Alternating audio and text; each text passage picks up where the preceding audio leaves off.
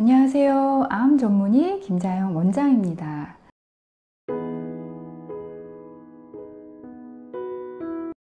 아, 제가 오늘 제목을 우아한색의 송강호 당뇨가 감기냐?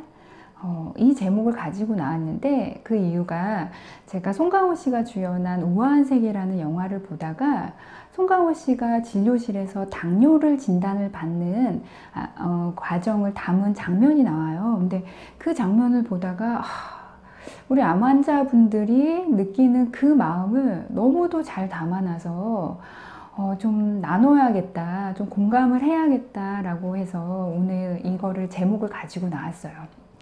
자, 이 영화에서 송강호 씨가 처음으로 어, 어디가 안 좋아서 뭐 병원에서 검사를 받았겠죠. 그 검사 결과를 듣는데 어, 진료실에서 처음으로 당뇨 진단을 받는 과정이에요. 근데 이 감독이 아마 이 대학병원이나 어디 진료의 경험이 있으셨는지 너무 그 포인트를 잘 잡으셨어요. 연출 자체를.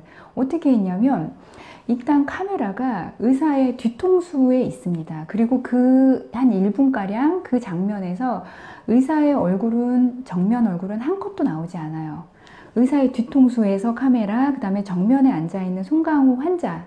근데 의사의 뒤통수도 뒤통수가 다 나오는 게 아니라 뒤통수도 반만 보여줘요. 음, 의사의 뒤통수 반만. 어, 연출인 것 같아요. 제 생각에는. 어, 우리 진료실에서 느낌이 그러잖아요. 의사 선생님 뒤통수만 보다 나온 느낌이잖아요. 그거를 잡아, 그렇게 잡고 갑니다. 그래서 의사 선생님이 이제 당뇨를 어, 송강호 씨한테 진단을 내리는데 그 과정에서 환자인 송강호 씨 얼굴을 한 번도 보지 않아요. 어, 일단은 어, 자료를 봅니다. 책상에 있는 뭔가 자료를 보면서 어, 술 많이 드시죠? 어, 식사도 어, 제때 못 하시고 당뇨 오셨네요. 자, 너무도 가볍게 딱 던집니다. 당뇨 오셨네요. 그 다음에 또 얼굴을 안 보고 어, 컴퓨터를 봅니다. 이제 처방을 내려야 되니까 어, 고혈압도 있으니까 어, 환자분 일단 2주치 약 처방할게요. 하면서 이제 처방을 하고 있습니다. 그러니까 송강호 씨가 이렇게 가만히 그, 거기까지 듣고 끝났나요? 이렇게 물어요. 그랬더니 의사가 네. 어, 송강호 씨가 아, 당뇨라면서요. 의사가 네 맞습니다. 더 이상 얘기가 없어요. 근데 송강호 씨가 아, 이 양반아 뭔 말을 해줘야지. 당뇨면 뭘 먹어라, 뭘 먹지 말아라. 얘기가 있어야지. 그랬더니 그제서야 그 의사가 환자의 얼굴을 보면서 완전 코미디 같은 이야기를 합니다. 나가시면 간호사가. 어, 여러분 많이 듣는 얘기죠? 나가시면 간호사가. 어, 그랬더니 송강호 씨가 그래요. 당신이 의사 아니야? 내가 병원에 간호사 만나러 왔어? 그리고 당뇨가 감기냐? 그러고 나갑니다. 자, 이 과정이 여러분 너무도 상상이 가죠? 어, 여러분이 암 환자분들이 진료실에서 느끼는 그 감정, 그거를 송강호 씨는 말로 다 표현을 했고, 여러분은 대부분 표현을 안 하고 그냥 가지고 오시죠.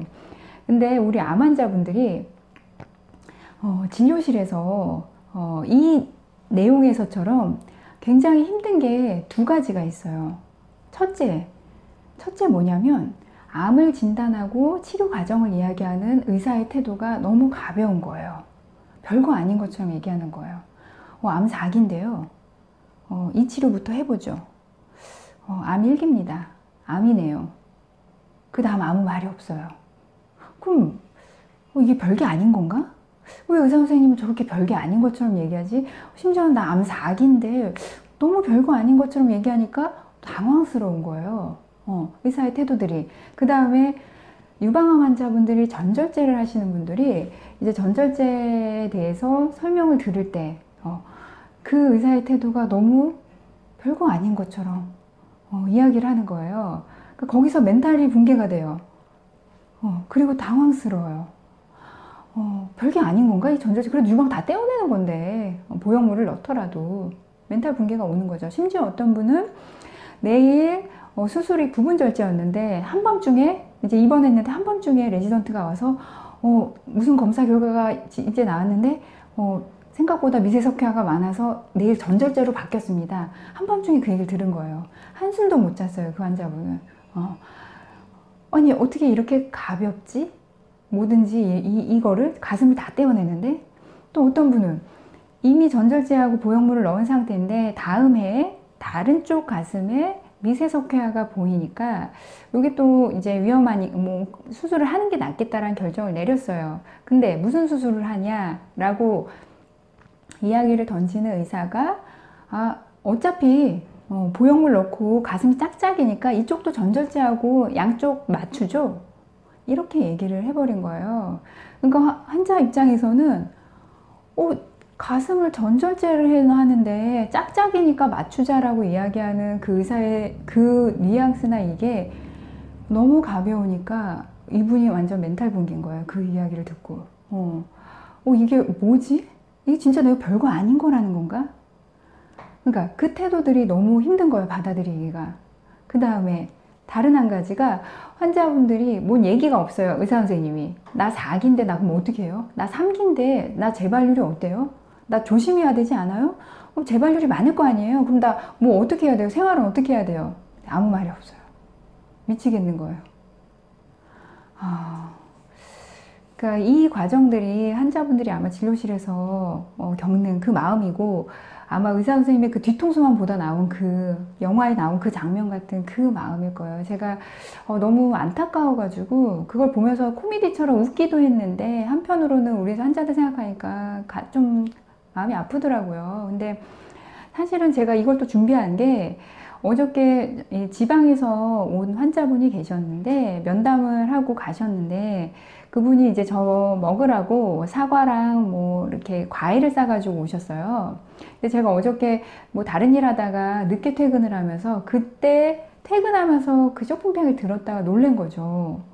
생각보다 굉장히 무거운 거예요. 근데 그분이 고속버스 타고 오셨거든요. 고속버스 타고 내려서 지하철 타고 저희 병원까지 오셨는데 이거를 들고 왔을 걸 생각을 하니까 어 가슴이 막 짠한 거예요. 그리고 더 제가 좀 울컥했던 거는 집에 진짜 막상 가서 열어서 보니까 사과가 막 이만하고 복숭아 이만하고 본인이 이제 직접 재배한 거 음, 토마토랑 뭐 가지랑 이렇게 싸서 있는데 그걸 보면서 울컥한 게 이분을 제가 이제 대학병원 치료를 받자 어, 받, 받는 게 도움이 지금 더 된다 이렇게 해서 다시 진료를 받도록 해서 보냈는데 이분이 진료실 안에서 또 다시 받을 그 의사로부터의 그 가벼움과 단절감 어, 그리고 그 답답함 어, 내가 인간처럼 대우받지 않는 것 같은 그런 느낌 어, 그 겹들이 이제 저는 그 진료실 풍경이 너무 잘하니까 그 풍경이 머릿속에 다 그려지면서 울컥 하더라고요. 이분이 그것 때문에 또 치료를 받지 않을까봐. 어, 사실 이제 그 관, 과정에서 진료의 과정에서 단절되고 상처받으면서 치료를 스탑해 버리시는 분들도 있거든요. 그래서 제가 참 그러지 않았으면 하는 마음에서 참 정말 공감한다라는 걸 좀 말씀드리고 싶어서 가지고 나왔어요. 또 환자분들이 어 제가 다음에는 이제 대학병원 뭐가 문제인지 그 시스템의 문제에 대해서도 이야기를 할 거고 대학병원에서 상처받지 않는 기술들에 대해서도 계속 올릴 겁니다. 근데 어, 환자분들 어, 너무 힘드시죠? 어, 내 질환에 대해서 같이 공감해 줬으면 좋겠는데 내가 지금 중화, 중질환을 가졌으니까 어, 근데 그 교감이 되지 않으니까 거기서 오는 멘탈 붕괴와 허탈함이 굉장히 크세요.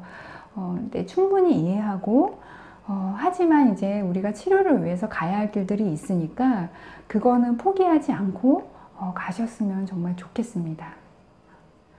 또 공감하는 내용으로 좋은 내용으로 또 찾아오겠습니다.